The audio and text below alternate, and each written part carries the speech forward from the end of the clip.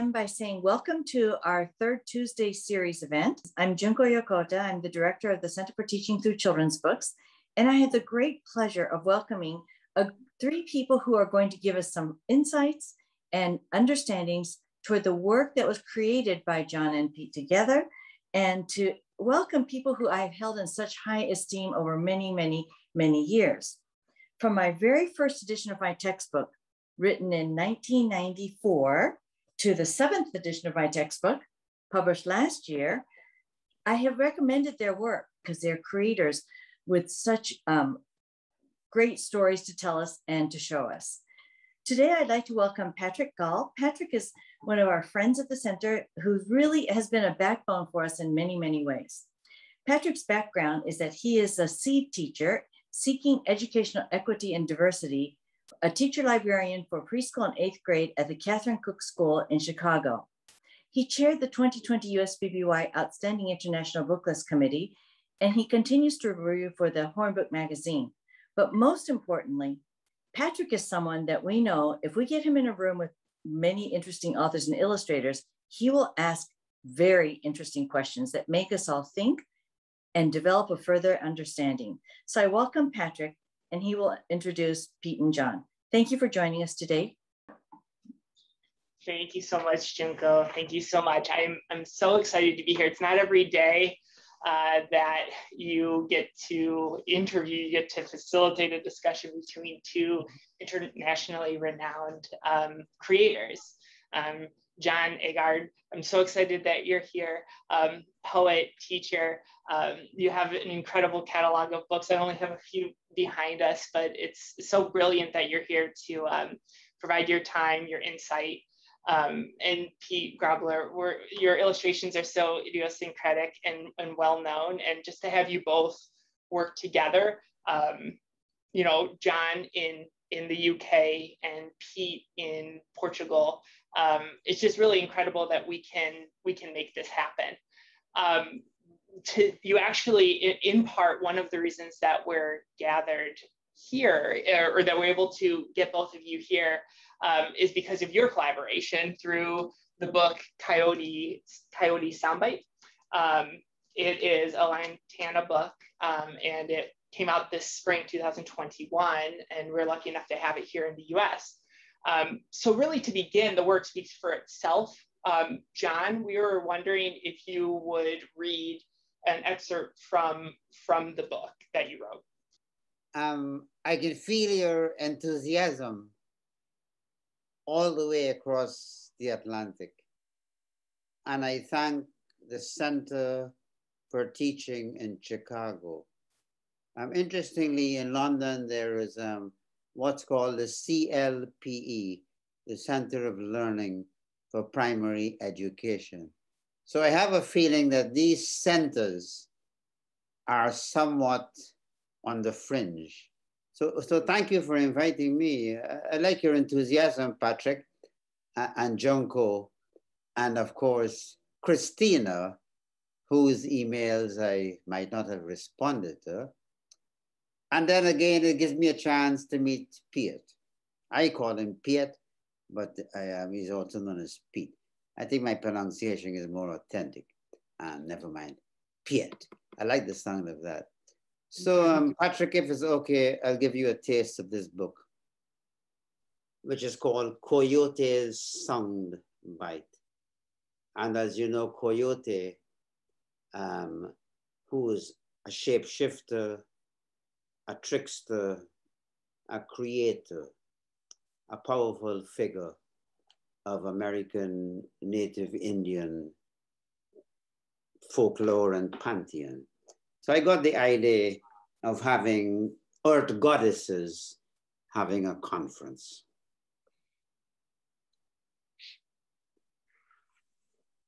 The breaking news spread like bushfire among all the animals of the rainforest. Earth goddesses were planning a conference. Excitement buzzed the air, as you can guess. The animals perked up ears, tails, feathers, spikes, horns, bristles, whatever. There they stood on four legs, on hind legs, on tiptoe flippers, you name it. The animals couldn't wait, couldn't wait. The coming conference of earth goddesses from far flung corners of the planet was going to be the first of its kind. And of course, the big burning issue the conference would discuss and ponder was whether humans are blind or have simply lost their mind. The art goddesses should have some clue, so they were all known to be very wise. On earth, they'd keep their watchful eyes down to a butterfly's silent flutter, down to the coming alive of a flower in the sun-blessed light of spring, down to a golden ear of corn ripening, a tiny seed waking in a cradle of darkness, a snail on a leaf, softly spiraling, a mole in deep dung burrow unwinding, the earth goddesses never miss a thing. But even bushy-tailed, smooth-talking coyote, who had traveled the world over and always saw himself as a globe-trotter, was still to meet an earth goddess face to face. So you can imagine Coyote's disappointment when he heard that only female creatures would be allowed at the historic event not even the male earth gods, no disrespect, were welcome on this particular occasion. Since nothing ventured, nothing gained, Coyote decided on the spur of the moment he'd put on his wife's blue dress, a bit on the tight side, but would surely do Besides, the dress went well with the toeless, high-heeled shoes and turquoise handbag. Out stepped Coyote with a zig and a zag, mistaking Coyote for a high-class lady. Two ravens ushered him to the front row. Then the chair goddess announced herself, Dharana. She whose singing gave birth to rain had traveled from the land of the didgeridoo to much applause, but without much ado. Durana recalled how from her belly button had sprouted the very first witchetty grub for the first ever humans to feed on. The runner and humans then spoke one tongue. So it was in the dream time beginning before the riches of the runner's dark veins had become divided into losses and gains. With that, Dharana introduced Oduduwa. Emerging from her calabash of ebony, Udawa said she'd keep it short and sweet. All she wished was to jolt human memory let them go ask the tree of 16 branches, from whose flesh grew the first cola nut. When first humans toddled on their butt.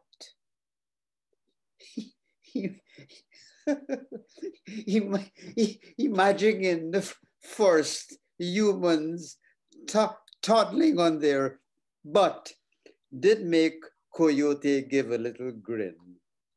A laugh out loud would be embarrassing. Next came the earth goddess Kujum Chantu, who spoke of wonders of which legends told, legends passed on to the young from the old. How our eyes grew into the sun and moon, how our bones became hills, how our breasts became what's known today as Mount Everest. But most marvelous of her telling was how Kujum Chantu's own belly fat became home ground for humans to squat. I'll jump because I want to introduce the goddess from, um, you know, that um, Alaska um, um, region.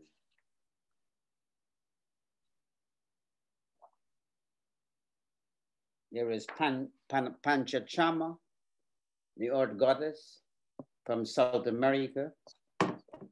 And I'll introduce this goddess from that part of the world, the Arctic. But she's very environmentally friendly. So after all these goddess speaks, at this conference, along comes this goddess.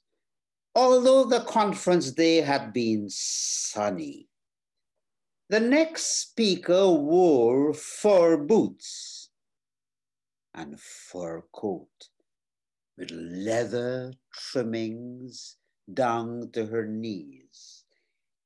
She was, of course, from the land of permafrost where folk were used to the igloo for a home. She introduced herself as earth goddess Ninan.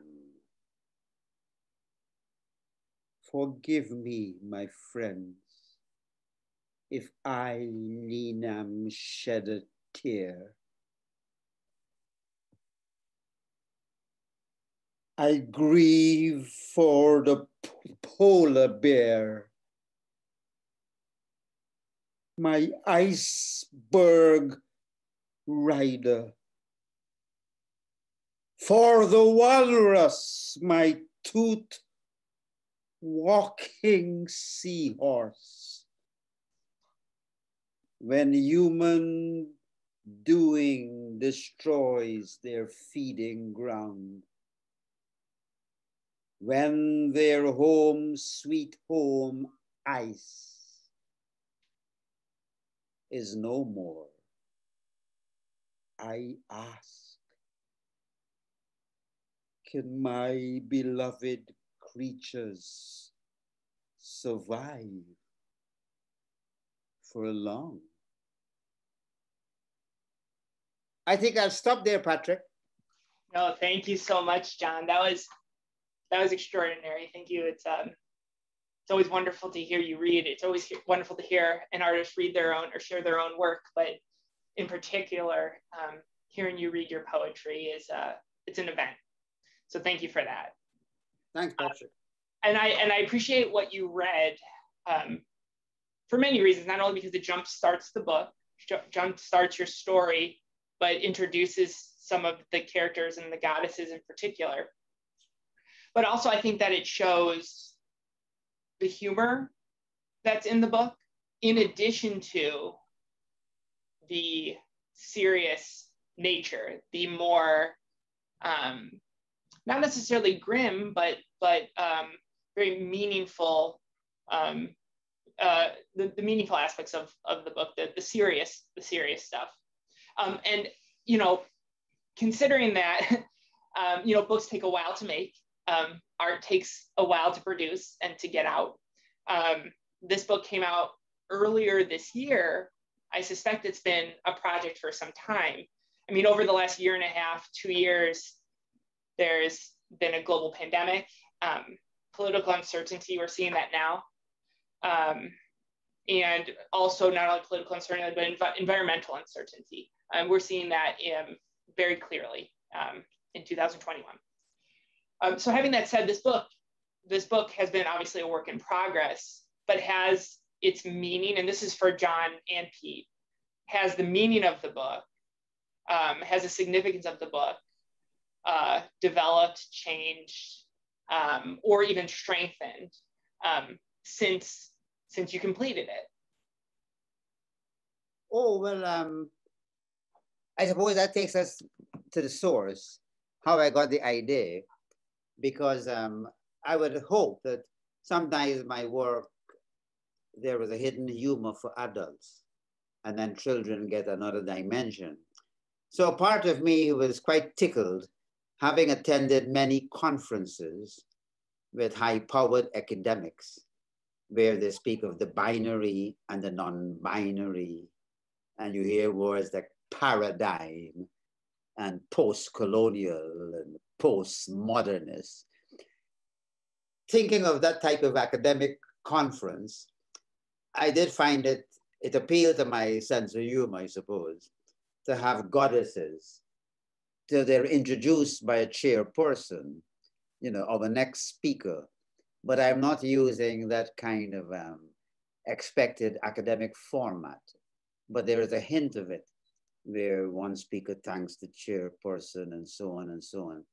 And I felt um, goddesses would be an interesting way of gathering together a multicultural um, prism of goddesses but in terms of the ending, which I wouldn't reveal because I don't want to give away the, shall we say, the plot. But when Coyote comes out with a sound bite, having put on his wife's dress, if I had ended the book there, because I'm the point I'm making is when you're writing, it's your subconscious in a marriage with your conscious. So if I had ended the story with the coyote, who is the male in disguise, penetrating a, a female conference, I would have got some criticism, no doubt. It took a man, as usual, to give the ladies an idea, like a soundbite. I didn't plan that ending, but as I went along, I suddenly got carried away on this wave what if the wife puts on male clothes and penetrates a meeting or conference of male goddesses? And I feel that that saves it. I wasn't planning that ending, but to stop at the bit where Coyote gives the song bite to the female gathering, it, it does fall into that trap where it took a man to give them a song bite so I was happy when that twist came. Um, Patrick knows the twist. I can see from his um, twisty grin that um, he knows the twist. I wouldn't necessarily have to mention it. But um, I think you know where I'm coming from. That in writing, and I'm sure Pete will agree, um, he might have begun an illustration with a certain direction. But as you go along, you do this balancing act between what your logic and your um, consciousness of um, a political reality and changing times, but you are not subjecting yourself to the didactic. You're hoping that it will still excite as a story, but and at the same time challenge without laying your heart on, on, a, on a sleeve. Um, and this is what excites me because um, I suppose a lot of my reading and my influences whether it is Jewish Hasidic tales, whether it is Sufi tales, whether it's about the trickster, the Middle Eastern trickster, Mullah Nasruddin, whether it's about your Brer Rabbit, an American folkloric figure, as Coyote, and, and poets, um, Zen Buddhism. Um, I've always been drawn and excited by challenging a mind without dictating to a mind. And um, it really excites me. And if I get an idea which could work, and I hope that Coyote worked, I'm excited um, because um, I think that's the nature of poetry, the ambivalence, uh, the mystery, the, the, the open-endedness.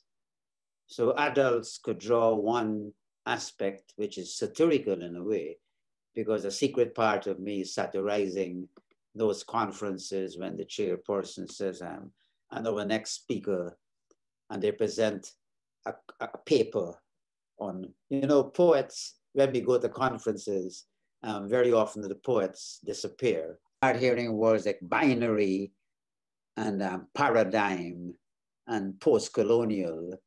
With, with due respect, you have what might be considered a linear way of thinking. And if you're going to be a great academic, you do have to develop a linear trend of thought. I learned this when my daughter was writing her thesis for university.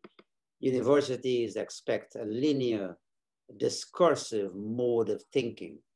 But poets, like tricksters and storytellers, have a more circular way, a non-linear way of putting forward a storytelling. And um, I hope I'm making sense. Well, I think too, John, and it's interesting because when there's the satire in there, but those those concepts in that circular way, um, in that circular way that you're approaching it through poetry, a lot of those concepts are still built in. It's just the approach is is is that poetic that poetic framework. But um, no, so I do I do appreciate that. But but Pete, I'm wondering has how has as the illustrator of this work and also because I can see a lot in the illustrations that you as an illustrated work right? This is a this is a written poem that um, and we can get into that. Like i'm wondering you know you know was it the intent is always to be illustrated? So pete you did your work too to add the illustrations. And i saw things in the illustrations that weren't necessarily in the text kind of to what john's point is you you he didn't have to dictate everything and you took it a step your to, to your own place. And I'm wondering how the book sits with you now, what maybe a year later, um, after probably creating it and within the framework of our time. Oh. Um, Patrick, you're very right. It, um, it's very interesting. John refers to the, um, the conferences and all those uh, theoretical terms. And since I was a lecturer, it was actually my job to, to think of things also uh, within, you know, uh, with regards to their theoretical importance. And then specifically when I got the text for this book, I read it, I read it again and I thought, how am I going to illustrate this and make it accessible? Because it's a strange poem. And I read it several times. Uh, I always work like that. I read the text several times and I walk for three days before I start to put anything down on paper. And um, because as John said, one doesn't want to be didactic and also with the illustrations, you, you have to get the attention of the child, entertain the child, of course, on that first level. But with this text, there is so much under the surface. There are so many layers. I could just point out, you know, uh, John mentioned feminism, but in addition to that, uh, gender identity, which is really handled in a very playful manner here, you know, him putting on his wife's clothes and vice versa. And also the, the fact that males have traditional roles versus females. One could look at the, um, you know, host, John used the word post-colonial theory. Uh, that is quite important here as well, because we have reference here to goddesses from um, uh, First Nation cultures, uh, where those goddesses um, originated, how would I portray them? Uh, you know, knowing that cultural appropriation is a, is a difficult thing and a, it could be a dangerous thing potential. There's so many, I don't want to say pitfalls, I want to say challenges with this book. And then of course, the, the main theme, which is the e eco-awareness. Um, and all of these things went through my mind and I, and I got into a discussion with, um, with Alice um, Curry from um, Lantana because um, she's already a PhD in children's literature, so we talked about it a lot. Um, and also just the way of handling the, the animals, because Coyote is an animal, but Coyote chooses to put on human attire to go to this conference. So the humans are making a mess of the earth, yet an animal has to disguise as a human to, to enter this conference, but it's also conference attended by all animals. So you've got so many different levels because Coyote as a trickster, almost he, you know, the, the bound normal boundaries are not there for him. He can transgress them, which he does, of course. The other animals are not, I haven't portrayed them with wearing clothes. There, some of them are, as John writes there in the text, on all fours. Some on their hind legs, so already in the text that John create this openness or this fluidity, which is quite humorous, which I think, yeah, I think it's a combination of John's sense of humor and then of course my choice of portraying this and trying to be uh, accessible, but also, well, let's say intelligent at the same time. I don't know whether I'm. intelligent. That could be, uh... I, I think Peter, um, did some wonderful illustrations, and I loved our collaboration. And um, I enjoyed working with Lantana, Alice Curry, and of course, um, um, Katrina from the Philippine Islands. They put great care into the book. And I think we managed to um, create a book which I think could appeal to adults as well, because very often picture book publishers tend to like a very minimal text and could be a bit scared of a longer text. So I'm happy that um, Alice Curry and her team from Lantana took the plunge of a longer text because I think within adults, there is um, the child and you can get um, important texts treated uh, almost like a picture book. I mean, what comes to mind is Animal Farm. If you had Animal Farm done with illustrations, that could appeal to adults. But we have this compartmentalized way of thinking where people create picture books and then you move on to the next level and then you read novels. And interestingly, um, there are some young writers who presume that it's easy to write a picture book, whereas it is the most difficult form to get accepted by a publisher, writing a picture book. It's very difficult. It's easier for an artist if the illustrator presents a competent text with marvelous illustrations that could be accepted. If an unknown writer presents a very interesting text, but they have to look for an illustrator and they have to pay an illustrator, you're looking at financial practicalities. And some many, and many people feel, oh, it's easy. It's only a few words. But I think that um, the picture book format, even though we tend to feel you graduate from that, or a better word is evolve. You evolve from picture books, that's for you know youngsters, and then you you move on to war and peace. Yeah. I, I, I think I think it's a great shame because I believe using the picture book format could appeal to the young reader and also adults could see another level and enjoy. I've seen a picture book of like um, a nonsense poem by Edward Lear, which appeals to adult humor, but it's presented as a single picture book. And, um, and, and I gave the example of um, um, George Orwell's Animal Farm. And then there's another beautiful picture book, um, The Little Prince, Antoine Saint-Exupéry. and a true yeah, uh, can key into that. A, a true uh, a, where something like Little Prince um, necessitates the illustrations, right? It, it, it's not the same book only as prose, only as text, right? I mean, I think like the books behind me, which are, are your books uh, collectively, do exactly what you're saying that they're illustrated, they're picture books, yet they appeal to like an, it's like an everybody book, right? From from our youngest to oldest, and it's how you you know what is the uh, how do you approach that like with your head and heart depending on your age. So I was kind of actually I, am really this I'm really thrilled by this because I'm wondering with from you both like John, what does it mean for you to write poetry that you know is going to be illustrated? Does that affect you as the creator? And and Piet, like when you're illustrating poetry, is that different than illustrating um, you know maybe uh, an illustration an illustration job that you have or you know for a magazine or an or um, or a, like a, a long a long form picture book with paragraphs prose like so i'm wondering you know, John, when you're making these poetry books that you know are going to be illustrated, does that affect your creation process?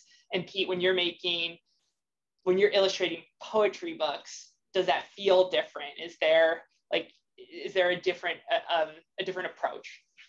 Oh, uh, that, that's an interesting question because um, if I'm doing a collection of poems, so they're miscellaneous poems, you know, um, or, or, or, that was Goldilocks on, by a, a wonderful artist, um, Satoshi Kitamura.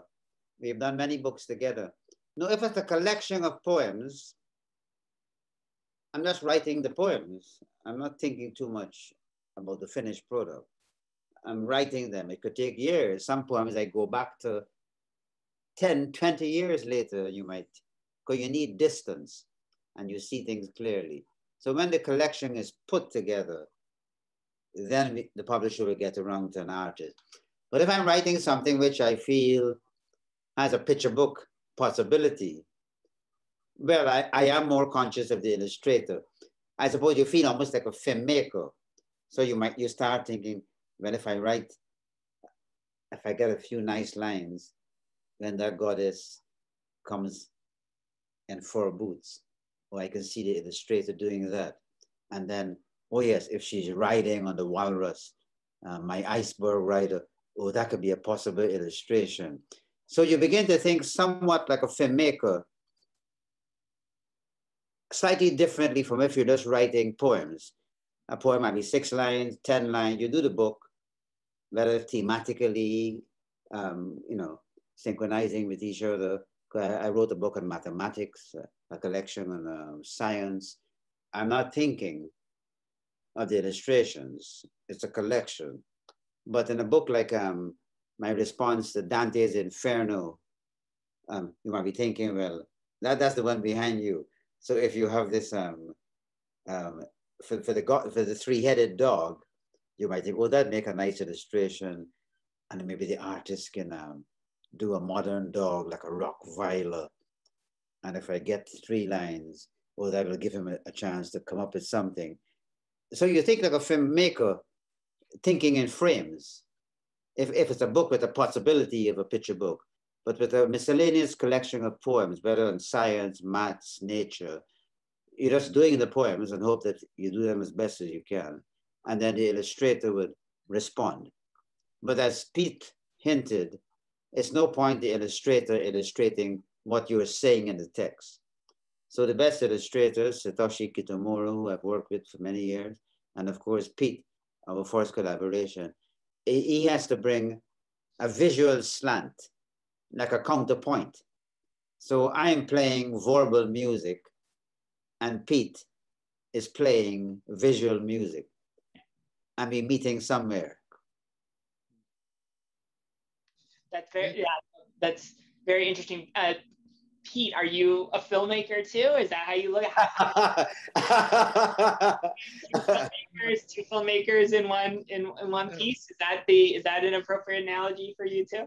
Yes, I, I think it is. Uh, John said it well. Um, and uh, to get back to your question, you asked whether the, the form that one is going to illustrate, whether it be a poem or a, a longer story or novel or whatever, dictates your approach. I think definitely so, yes. One does approach uh, a poem much differently from a piece of editorial writing. For example, in this case, however, um, and it, it, it, links with what John said that he, if, he, if, he, if this were just one of, say, 10 poems, I would have approached it much differently if it were in a, a, a collection of, of, various poems. But in this case, it is so um, much a narrative poem. It could have been not a poem at all because there are so many characters. It develops as a story. It's it just happens to be a, you know a, a poetic form.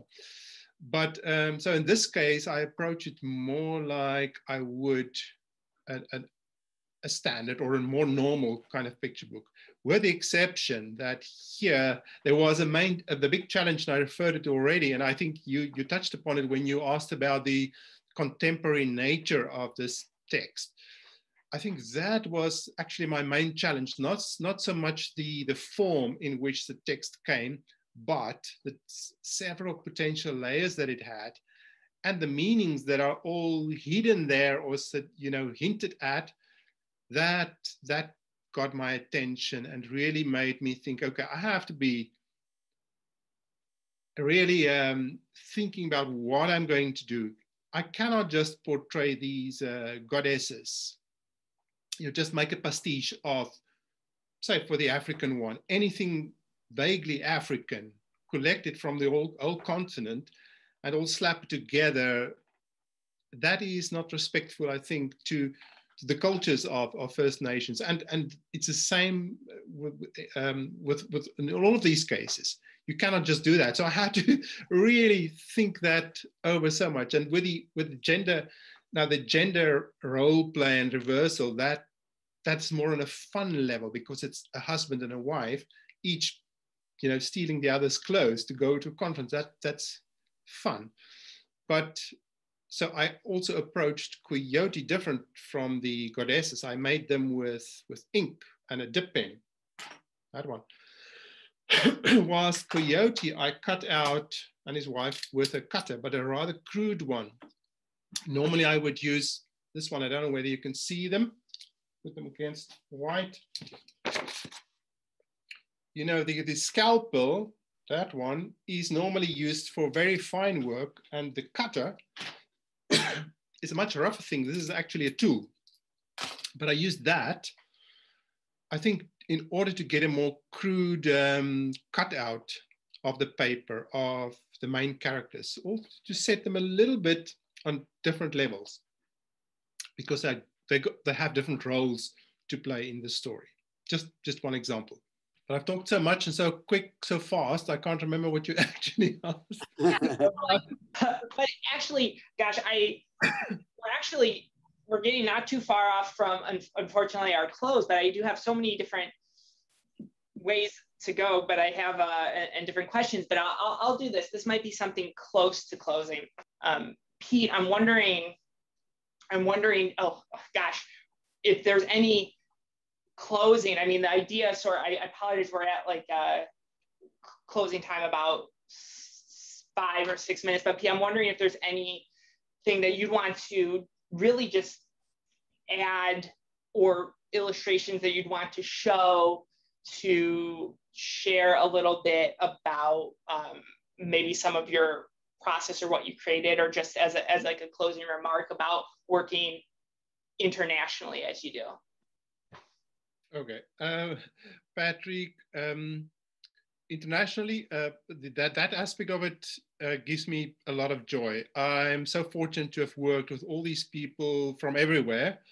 Um, but coming from South Africa, which is a multicultural country, there are so many uh, indigenous languages, 11 of them. Um, I have lived in the UK, now in Portugal, but for 50 years of my life in South Africa. So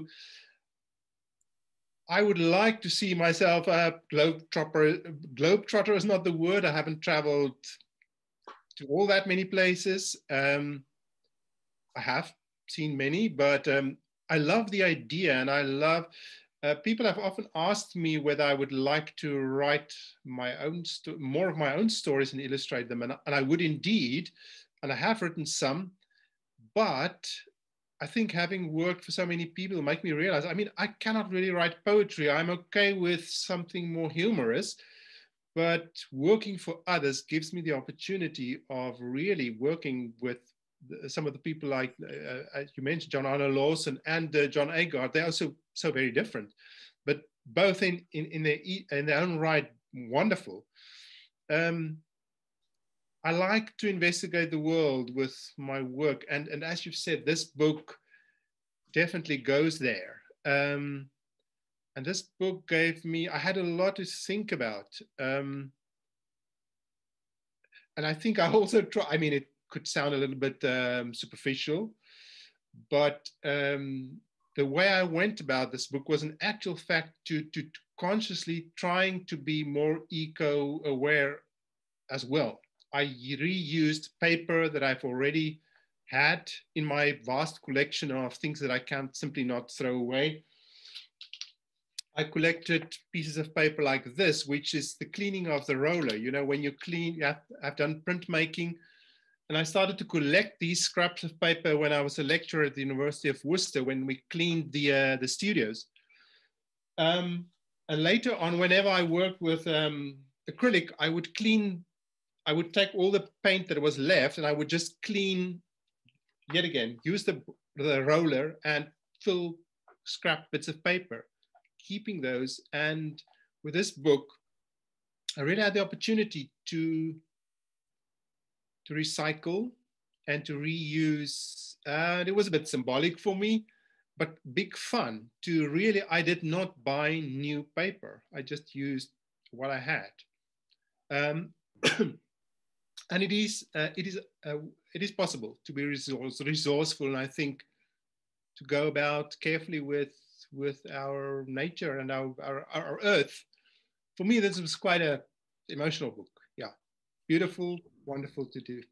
No, thank you, Piet. I, I even think like in, in previous interviews, um, John has talked about how we're, you, we're reusing and collaging that creating poems is not entirely different than that. The, the actual physical working and moving of, of words as you do with paper uh, across a page. Um, I, I, I want to be respectful of, of folks' time. We're at um, uh, th three minutes to the hour. I just want I just want to share really quickly that I'm, I'm grateful for the time together. I'm grateful for your work. And um, it's been a really interesting conversation. I'm wondering if Christina has anything to share or any questions. Um, for those of you who don't know, my name is Christina Moorhead. I'm the program director for the Center through Teaching Through Children's Books. I'm thrilled that we had this conversation with John and Piet. Um, you've given me personally so much to think about everybody in the comments was just um, sharing their, their insights and how they were resonating with everything you said about uh, ecological issues and, and, how you create your art, and how you think when you, when you create your poetry. Um, so I just personally, on behalf of the center, for everybody here and everybody who's going to see this video on YouTube when it goes up, I want to thank you so much for joining us, Patrick. As always, thank you so much. And um, we we look forward to possibly, if there's ever another book, to having you back and having a further conversation because I think we just scratched the surface. Well, well thank you um, very much for inviting me, Christina. And thank you, Patrick, for conducting it in a nice, friendly way. And good to meet you, um, Junko. And Patrick and Christina, um, as I said, I've got a daughter who lives in Hayward, California, that um, I'm hoping to um, visit um, you know, in, in some time in the future, not too late. But if I ever find myself in California, um, Patrick, do send me your email and you, Christina. And I feel if I'm in California, I would feel uh, it's my duty to visit the center in Chicago. Um, you know, we'd love to have you. We would love the the invitation is absolutely extended. We'd love to have you. and Piet, uh, wonderful to see you again. And, you know, and hopefully we meet in England or Portugal No, I've enjoyed myself, and I, I wish your center the very best. Because, like I said, um, these centers for teaching are very often um, just off the mainstream and are usually uh, vital resources for teachers seeking an alternative vision. Thank you all. Uh, thank you, John. Thank you so much. It was a wonderful afternoon. Take care, Piet. Thank you, John. Let me know when you're in England. yes. And I'll let you know when I'm in Portugal. please do, please do. Uh, thanks, Christina, Patrick, and Junko, and John for the book. It was lovely. so much. and thanks again for your illustration. Thank you. Bye bye